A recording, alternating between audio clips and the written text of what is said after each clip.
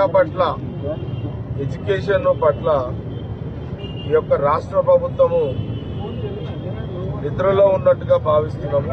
ఎందుకంటే ఈ రాష్ట్రంలో కరోనా రావడంతో దేశంలో కానీ రాష్ట్రంలో కరోనా రావడంతో చదువు అనేక వ్యాపార సంస్థలు కానీ అన్ని కూడా నష్టపోయినాయి. దాంతో పాటు ఎడ్యుకేషన్ కూడా చాలా నష్ట నష్టంలో విద్యార్థులు నష్టపోతున్నారు. దీనికి ఎవరినో బాధ్యులను మేము చేస్తలేము. కానీ గత రెండేళ్ళ కిందట ఇదే రకంగా తెలంగాణ రాష్ట్రంలో విద్యార్థులు అనేక మంది ఫెయిల్ ఫెయిల్ అయిపోయిన సందర్భంలో ప్రభుత్వం యొక్క నిర్లక్ష్యంతో అనేక మంది విద్యార్థులు స్టూడెంట్స్ మరి చనిపోవడం జరిగింది. అది ఈసారి కూడా ఇంటర్మీడియట్ విద్యార్థులు మరి చాలా మంది కూడా చనిపోవడం జరుగుతున్నది. కానీ ప్రభుత్వము అంటే మన ఇంటర్మీడియట్ సంబంధించిన విద్యార్థులు తెలంగాణ రాష్ట్రంలో నాలుగు లక్షల యాభై వేల మంది నాలుగు లక్షల యాభై వేల మంది స్టూడెంట్స్ ఎగ్జామ్స్ రాయడం జరిగింది. అందులో దాదాపు మరి రెండు లక్షల ముప్పై ఐదు వేల మంది స్టూడెంట్స్ ఫెయిల్ కావడం జరిగింది. మేమేమడుగుతున్నాం అంటే కాంగ్రెస్ గత గత కొన్ని రోజులుగా విద్యార్థులు చనిపోతున్నారు. అనేక రాష్ట్రాలు ఫెయిల్ అయిన వాళ్ళని కూడా పాస్ చేయడం జరిగింది. మరి నేను కన్సల్ట్ మినిస్టర్ సబితా ఇంద్రారెడ్డి గారు కూడా ఏమడుగుతుందంటే ఎందుకు మీరు ప్రభుత్వ పరంగా ఈ తక్కువ మార్కులతో ఎవరైతే ఫెయిల్ అయ్యారో వాళ్ళ మిగతా రాష్ట్రాలలో ముందు జాగ్రత్త చర్యలో వాళ్ళందరూ కూడా విద్యార్థులని మరి పాస్ చేయడం జరిగింది. స్టూడెంట్స్ అది ఇంటర్మీడియట్ స్టూడెంట్స్ పాస్ చేయడం జరిగింది. తెలంగాణ రాష్ట్ర ప్రభుత్వము ఎందుకు పాస్ చేయలేకపోయింది విద్యార్థులు చనిపోతున్నా ఎందుకు దీని మీద శ్రద్ధ వహిస్తలేదు అనేది గత కొన్ని రోజులుగా ఎన్ఐసిఓ పరంగా కూడా అనేక ఉద్యమాలు చేయడం జరుగుతున్నాయి దాదాపు మొన్న కూడా ఐదారు వేల స్టూడెంట్స్ కోడా ఆఫ్ ఇంటర్మీడియట్ దగ్గర వచ్చి నిరసన తెలియడం జరుగుతుంది. ప్రధానంగా నేను ఏమంటున్నంటే ఈ ప్రైవేటు కార్పొరేట్ కాలేజీలలో రిజల్ట్ వచ్చింది. అది ఇప్పుడు ఈ రెండు లక్షల అయితే ముప్పై వేల మంది ఎవరైతే విద్యార్థులు స్టూడెంట్స్ ఫెయిల్ అయ్యారో రాష్ట్రంలో అన్ని ఇవన్నీ కూడా గవర్నమెంట్ కాలేజీలకు సంబంధించిన మేజర్ పార్టీ గవర్నమెంట్ కాలేజీలు. అంటే అంటే గవర్నమెంట్ కాలేజీలో స్టూడెంట్స్ ఇంటర్మీడియట్ స్టూడెంట్స్ వాళ్ళకు ఇంటర్నెట్ ఫెసిలిటీస్ ఉండేవి వాళ్ళకి. గవర్నమెంట్ కాలేజ్ స్టూడెంట్స్ దగ్గర ఏముంటాయి వాళ్ళకు? గ్రామీణ ప్రాంతంలో ఉంటారు. డిస్టిక్లలో గ్రామీణ ప్రాంతంలో ఉంటారు కాబట్టి వాళ్ళకి ఇంటర్నెట్ ఫెసిలిటీస్ లేకపోవడం వల్ల ఆల్రెడీ టీచర్స్ టీచింగ్ లేదు ఆల్రెడీ కాలేజీలలో దాంతో పాటు వాళ్ళకు ఇంటర్నెట్ ఫెసిలిటీస్ లేకపోవడం వల్ల ఆ, యొక్క పరిస్థితులలో చాలా మంది ఇంతమంది రెండు లక్షల ముప్పై వేల మంది స్టూడెంట్స్ ఫెయిల్ కావడం జరిగింది. కార్పొరేట్ కాలేజీలకు అయితే వాళ్ళు ఫీజులు కడతారు కాబట్టి వాళ్ళకి ఇంటర్నెట్ ఫెసిలిటీస్ ఉంటాయి. అక్కడ స్టూడెంట్స్ ద్వారా లెక్చరర్స్ ద్వారా వాళ్ళకు వాళ్ళకు చదివిపిస్తారు. కానీ అదే గవర్నమెంట్ కాలేజీలో అలాంటి ఫెసిలిటీస్ ఉన్నాయి ఇప్పుడు ప్రభుత్వం కూడా కాలేజీలలో ఇప్పుడు సపోజ్ ఆన్లైన్ చదువులు చదవమని అన్నారు.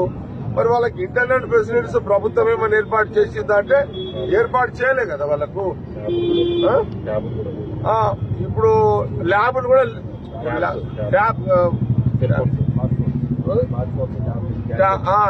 ట్యాబ్లెట్ ఇప్పుడు ఫోన్స్ కూడా ఉండే వాళ్ళ దగ్గర. వాళ్ళ వాళ్ళ దగ్గర ఎలాంటి ఫెసిలిటీస్ ఉండే వాళ్ళ దగ్గర. ఇలాంటి పరిస్థితులలో మరి గవర్నమెంట్ కాలేజీకి సంబంధించిన ప్రభుత్వము గవర్నమెంట్ కాలేజ్ చదువుతున్న స్టూడెంట్స్కి అన్ని ఫెసిలిటీస్ ఇచ్చి వాళ్ళు ఫెయిల్ అయితే అప్పుడు నువ్వు మేము అలాంటి వాళ్ళ స్టూడెంట్స్ కానీ ఎవరో అడగాం. కానీ ఎలాంటి ఫెసిలిటీస్ ఇవ్వలేదు. ఈ రాష్ట్ర ప్రభుత్వము గవర్నమెంట్ కాలేజ్ చదువుకున్న నెట్ ఇంటర్నెట్ ఫెసిలిటీస్ కానీ ఫోన్స్ కానీ మరి ఇలాంటి ఫెసిలిటీస్ ఇవ్వకుండా ఫెయిల్ అయిన వాళ్ళని పట్టించుకోకపోతే ఈ రోజు అనేక మంది చూడండి మొన్న ఒక ఒక ఒక కాలేజ్ స్టూడెంట్ ట్రైన్కి డైరెక్ట్గా పోయి ట్రైన్కి ఎక్కడది? జాలవి నల్గొండల. అంటే ఎగ్జాంపుల్ ఒకటి రెండు మూడు చెప్తున్నాము కానీ చాలా మీడియాకి రాని చావులు కూడా స్టూడెంట్స్ చాలా ఉన్నాయి. కాబట్టి ఇప్పుడు సబితా ఇంద్రారెడ్డి శాఖ మంత్రిగా ముఖ్యమంత్రి గారిని సమీక్ష చేసి ఎందుకు ఇంత ఆలస్యం అవుతున్నది ఈ రెండు లక్షల ముప్పై వేల మందిని మరి అందరు అందరూ కూడా పాస్ చేస్తే వాళ్ళకి వచ్చే నష్టమే. నేను ఇంకో మాట కూడా చెప్తున్నా రాష్ట్ర ప్రభుత్వానికి. ఇది ఈ యొక్క మార్కులు స్టూడెంట్స్ ఫెయిల్ అయితే ఈ మార్కులను కలిపి పాస్ అయ్యే విధానం ఇప్పుడే కాదు. గత ముప్పై ఏళ్ళ నలభై ఏళ్ళ కింద కూడా పదో తరగతి ఐదు మార్కుల లోపల పదో తరగతి ఫెయిల్ అయితే కూడా ఐదు మార్కులు కలిపి పాస్ చేసిన చరిత్ర గతంలో ఉన్నది. కానీ ఈ ముఖ్యమంత్రి గారు మరి సబితాంద్ర రెడ్డి గారు ఎందుకు ఇప్పటి వరకు ఇంత ఆలస్యం చేస్తున్నారు ఇంకా పిల్లలు చనిపోవాలని చూస్తున్నారా? మరి ఆల్రెడీ పిల్లలు ఇప్పుడున్న విద్యార్థులు వెరీ సెన్సిటివ్గా ఉన్నారు. ఒక్క మార్కు రెండు మార్కు నాలుగు మార్కులు తక్కువ వచ్చినా సరే సూసైడ్ చేసుకుంటున్నారు.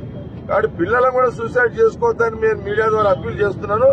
తక్షణమే మేము నిన్న కూడా ప్రెస్ మీట్లో చెప్పినాం.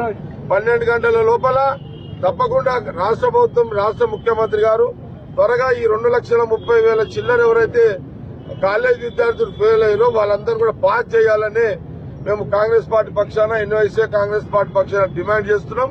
అందులో భాగంగానే ఈ రోజు మూడు గంటలు ఇక్కడ బోర్డ్ ఆఫ్ ఇంటర్మీడియట్ దగ్గర విద్యార్థుల పక్షాన రాష్ట్రంలో ఉన్న అన్ని విద్యా ఫెయిల్ అయిన విద్యార్థుల పక్షాన స్టూడెంట్స్ పక్షాన ఈ రోజు ఇక్కడ ఈ దీక్షా కార్యక్రమాన్ని మరి ఇక్కడ చేయడం జరుగుతున్నది. ఇది ప్రభుత్వము కొన్ని గంటల్లో నిర్ణయాలు తీసుకొని పాస్ చేస్తే అది ప్రభుత్వానికి కూడా మంచి పేరు ఉంటుంది. ఇది ఆలస్యం తగదు ఆలస్యం కూడా చేయరాదు. రోజు ఇప్పుడు నిన్న కూడా ఒక స్టూడెంట్ చనిపోయింది మళ్ళా. మంతని మంతని. నందిని అనే ఒక స్టూడెంట్ కూడా చనిపోయింది ఆదిలాబాద్లో కాబట్టి ఇట్లా రోజుకొకరో ఇద్దరు ఒకరో ఇద్దరు అక్కడక్కడ చనిపోతున్నారు.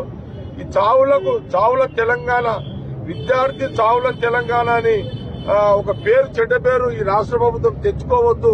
ఇది మంచి పద్ధతి కాదు అని నేను రాష్ట్ర ముఖ్యమంత్రి గారి బోడా ఆఫ్ దగ్గర నుంచి ఈ దీక్షా కార్యక్రమం అందరు యావత్ రెండు లక్షల ముప్పై వేల మందిని ఇమ్మీడియట్లీ ఇంటర్వ్యూషన్ పాస్ చేయాలని ప్రధానమైన డిమాండ్ చేయడం జరుగుతుంది.